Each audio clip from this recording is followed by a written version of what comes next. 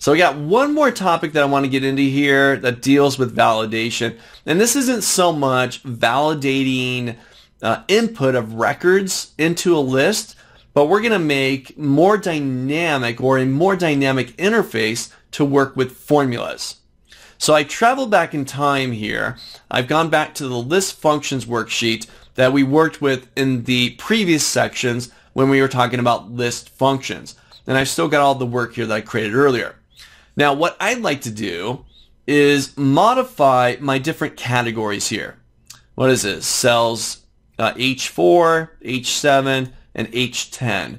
I want to create drop-down menus so somebody could jump into here and just through a couple clicks of the mouse, change the category from software to one of our other categories and update the calculation.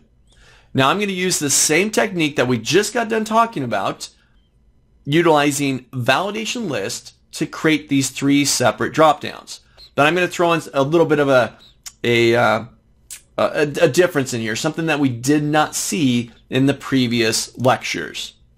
This, is, this deals with how you create your list.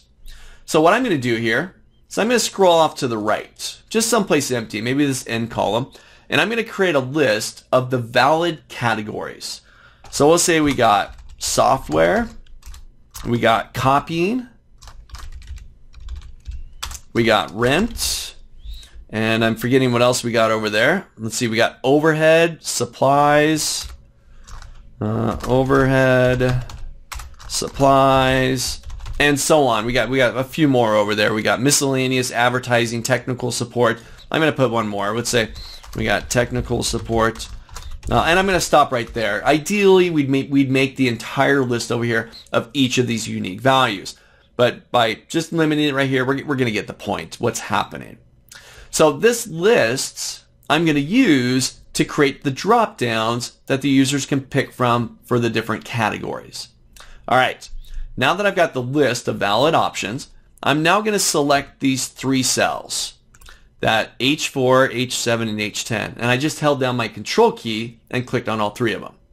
So now with that selected, I'll go up to my data tab.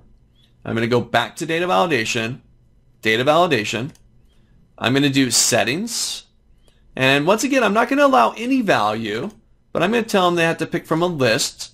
And my source, rather than this time then typing it in, I'm going to go select my list over here what is that? N3 to N8. And that's it. I'll hit OK. And I've now got little drop downs. So I go from software to copying, and I've updated my formula through a nice dynamic drop down list. So I'm trying to create something that's more user friendly, intuitive, right? Just through a little drop down. You've now got these dynamic calculations or dynamic input and interaction with these calculations.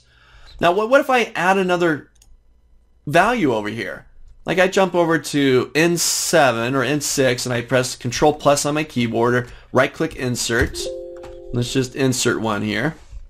Oh, you know, I'm going to have to right click. I'll right click and I'll insert a row. And I insert something else here. Let's say we get uh, contractors. One that I didn't have before. All right, contractors. There it is. I hop back over to my drop downs and look at that. I've now got contractors.